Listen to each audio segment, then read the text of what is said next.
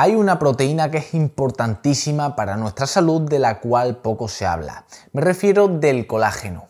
Sí que estos años atrás se ha hablado mucho de la suplementación de colágeno y de sus beneficios, que no me parece mal, pero se ha perdido el foco en los alimentos realmente ricos en colágeno que nos van a aportar una forma de esta proteína mucho más biodisponible, mucho más saludable, más natural y con mayores beneficios sobre nuestra salud. El caso es que el colágeno es importantísimo porque forma el 30% de toda la proteína que hay en nuestro cuerpo. De hecho, forma el 75% de la proteína de nuestra piel y el 85% de la proteína que componen nuestros huesos. Además de que el colágeno está muy presente en nuestros órganos, articulaciones, ligamentos, en los ojos, en los dientes, es decir, es vital para mantener una buena salud. El problema es que conforme avanzan los años, la síntesis endógena del cuerpo de colágeno va disminuyendo, es decir, a más envejecemos,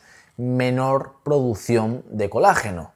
Y es ahí cuando su aporte y el aporte de alimentos ricos en colágenos que vamos a ver cobran especial relevancia, básicamente porque debe haber un equilibrio entre aminoácidos en nuestro cuerpo, al igual que debe haber un equilibrio entre omega 3 y omega 6 que seguramente ya hayas escuchado, debe haber un equilibrio entre glicina, uno de los aminoácidos del colágeno, y metionina, uno de los aminoácidos muy presentes en cortes magros como la pechuga de pollo, el lomo de cerdo, los filetes de ternera, de los cuales creo que abusamos porque no equilibramos con los alimentos que proceden de los órganos, con la casquería. Se ha perdido la tradición. Hoy en día las madres casi no ponen casquería a los críos cuando antiguamente sí que se hacía. Mi abuela me ponía mucha casquería cuando yo era pequeño, sin embargo mi madre jamás me puso nada.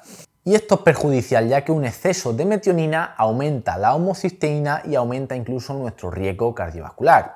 Y por supuesto porque el consumo de colágeno tiene tantos beneficios que no merece la pena evitarlo entre los cuales encontramos en primer lugar que mejora el descanso. La glicina actúa como neurotransmisor induciendo sueño y relajación. En segundo lugar tendríamos el clásico beneficio que es que refuerza las articulaciones y esto es verdad ya que el colágeno forma el tejido conectivo que se encarga de sostener el resto de órganos y tejidos. En tercer lugar, tendríamos que reduce el dolor articular, un problema que sufren muchísimas personas y en los estudios se ha visto que el consumo de colágeno ayuda a reducir este dolor que tanto merma la calidad de vida. Y además se ha visto que puede aliviar incluso los síntomas de personas con artritis. En quinto lugar, tendríamos como beneficio que repone la mucosa intestinal. Hay un problema que es la permeabilidad intestinal cuando se producen microperforaciones en la capa del intestino. El hecho de reforzar nuestra mucosa nos ayuda, por un lado, a sellar el intestino permeable y poder prevenir enfermedades autoinmunes y además ayuda a regular la microbiota, ya que a nuestras bacterias beneficiosas les encanta el colágeno. Así que si tienes problemas digestivos, estos alimentos te van a venir muy pero que muy bien. Y por si fuera poco, también se ha visto que ayuda a combatir incluso la caída del cabello, lo cual es totalmente lógico.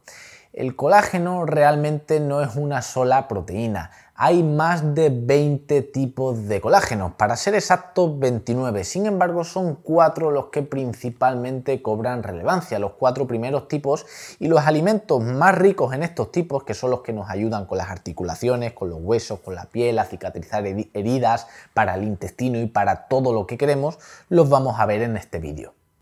El primer alimento sería el caldo de huesos. Aquí tenemos huesos de ternera ecológica y lo ideal es hacerlo a fuego despacio para que vaya soltando poco a poco todo el colágeno, ya que el caldo de huesos es, es una fuente de colágeno en una forma muy biodisponible, es decir, que asimilamos con facilidad.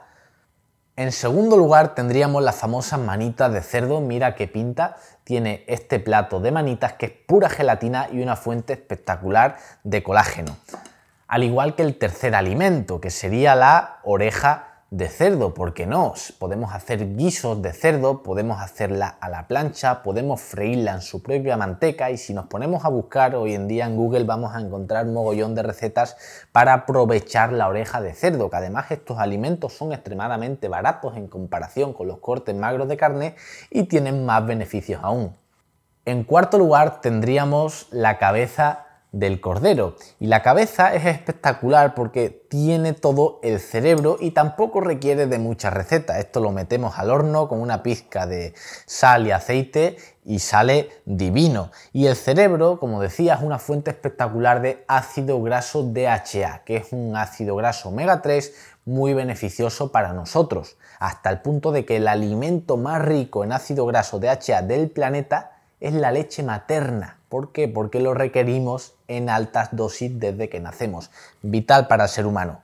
En quinto lugar tendríamos el famoso hígado, que puede ser de res, de cerdo, de pollo, de cordero, del animal que queramos o de si lo podemos conseguir de un animal que ha comido pasto, pues mejor, que también es pura gelatina como podemos ver y lo bueno que tiene es que es un multimineral, un multivitamínico y es una gran fuente de cobre, que es un mineral que facilita la síntesis de colágeno de nuestro propio organismo.